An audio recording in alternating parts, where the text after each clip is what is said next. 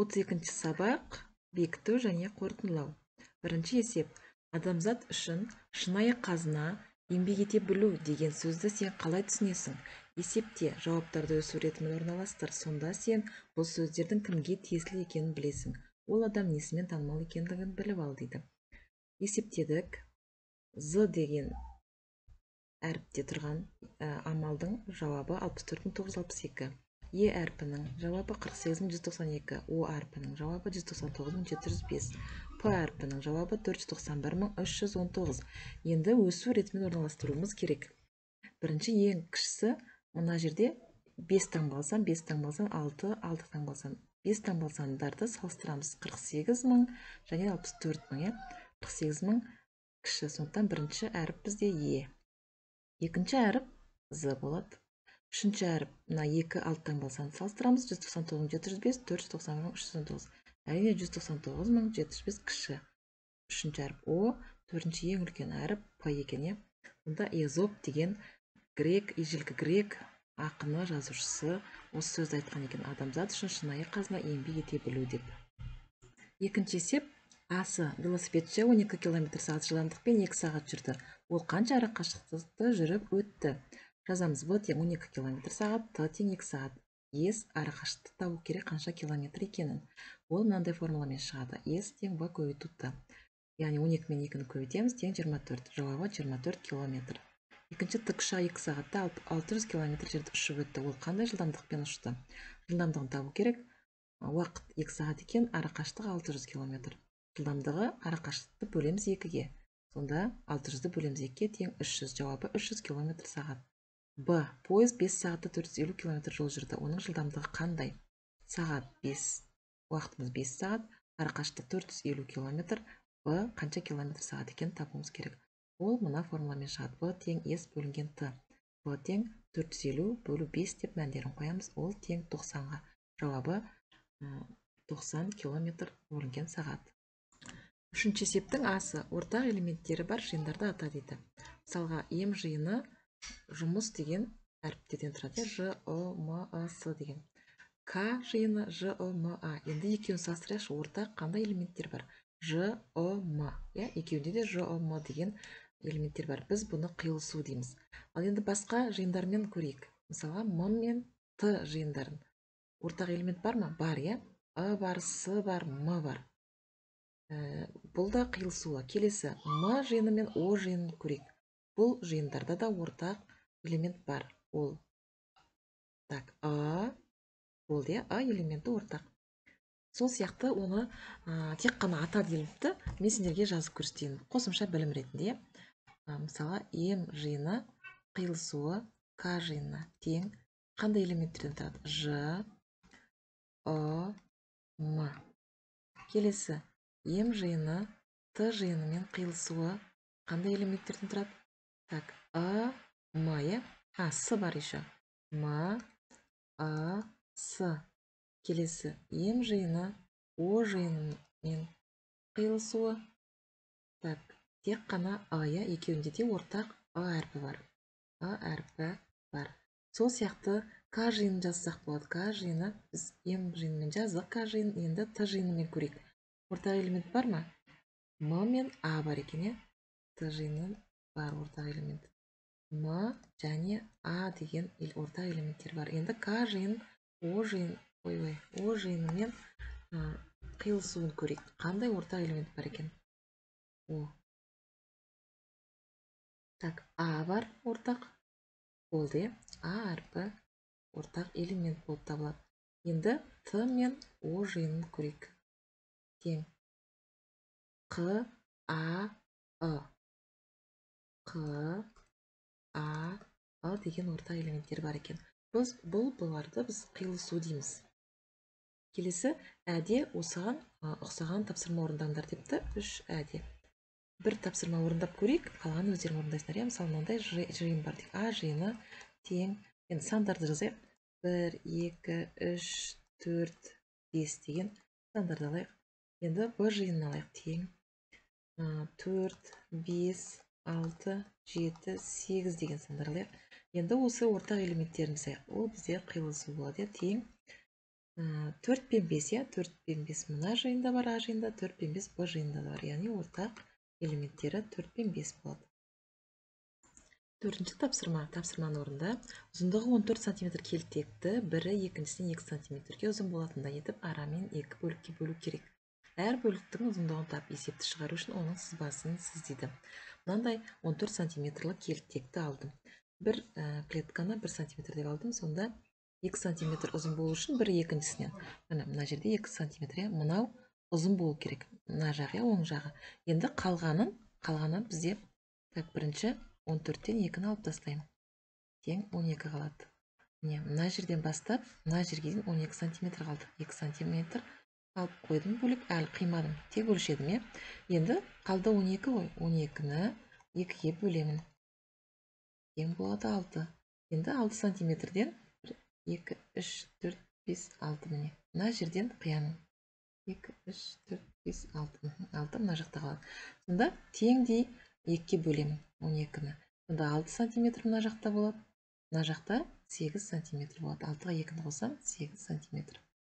Яғни 2-ге 2 сантиметрге ұзын болды иә бір жағы біреусі екіге бөлген кезде.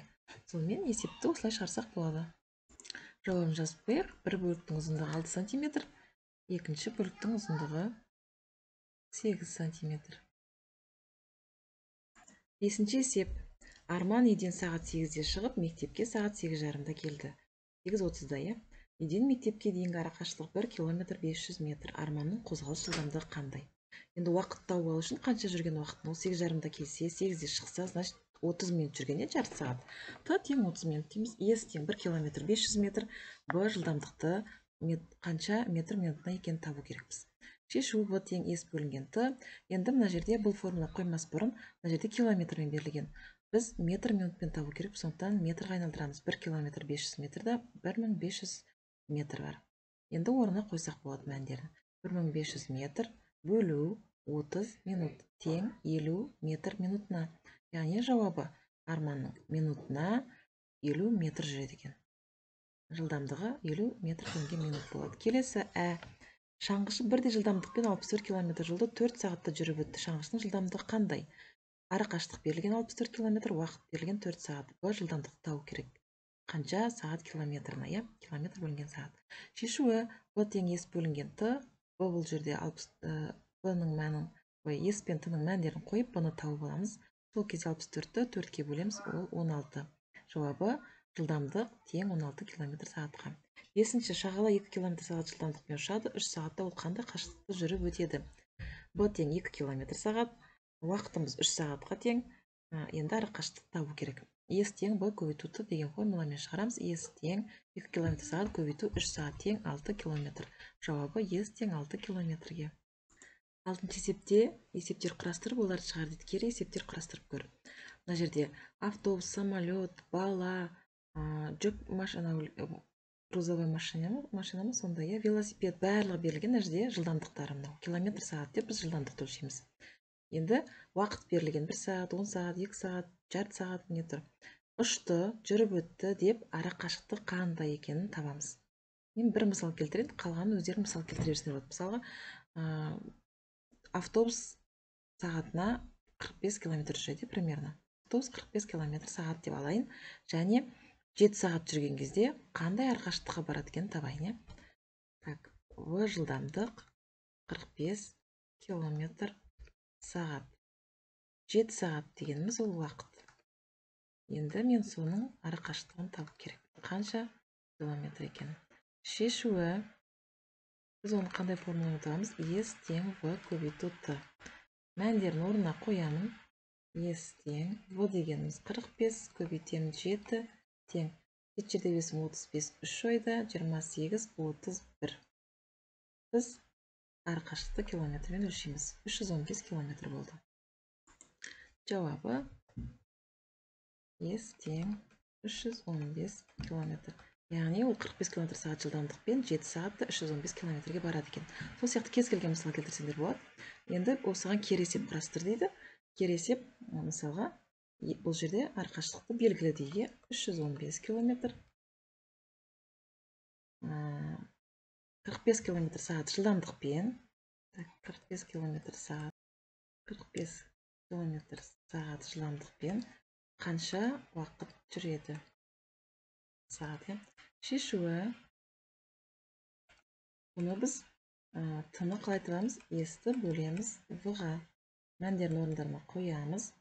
Так үш жүз он бес бөлу қырық бес тең болады. Жеті сағат. Кері есеп құрастырдық осымен так жауабы т тең жеті так так так т тең енді жақша керек жоқ т тең жеті сағатқа осылай кез келген есеп құрастырсаңдар өздерің болады балалар жетінші есепте сегіз амал берілген. Көбейту бөлу қосу азайтуға екі екіден мен барлығының бір бірден шығардым. Қарап өздерің тексеріп алыңдар.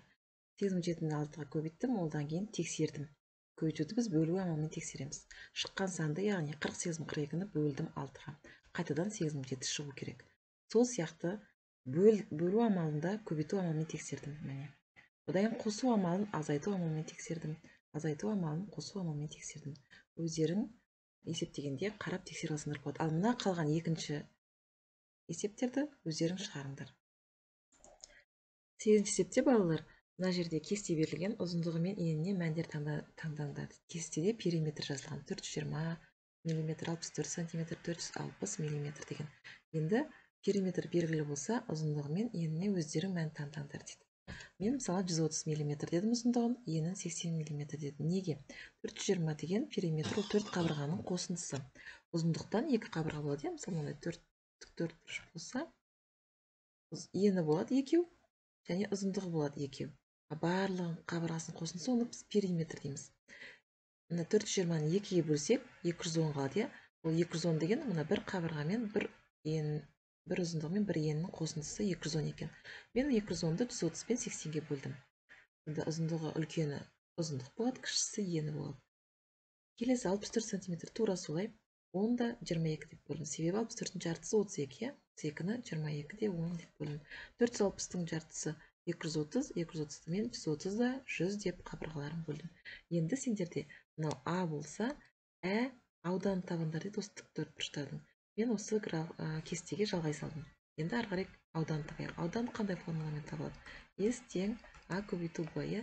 Және қабырғаларын ұзындығымен көбейтеміз деген сөз. жүз отыз бен сексенді көбейтеміз. Үш жердегі сегіз мың жиырма төрт бір жердегі сегіз мың сегіз ойдағымен он. Екі нөл жанына түседі сонда он мың төрт жүз миллиметр квадрат ауданы келесі жиырма екі мен он болса жиырма екі нөлді жалғай саламын иә онға көбейткен кезде сонда сантиметр квадрат болады ал отыз бен жүзді көбейту үшін он үш артына үш нөл жалғаймын миллиметр квадрат болады. Әні де орындап тастадық сонымен. Тоғызыншы есепте бес және жеті цифрларын пайдаланып осы цифрлар екі реттен кездесетін барлық төрт таңбалы сандарды жаз.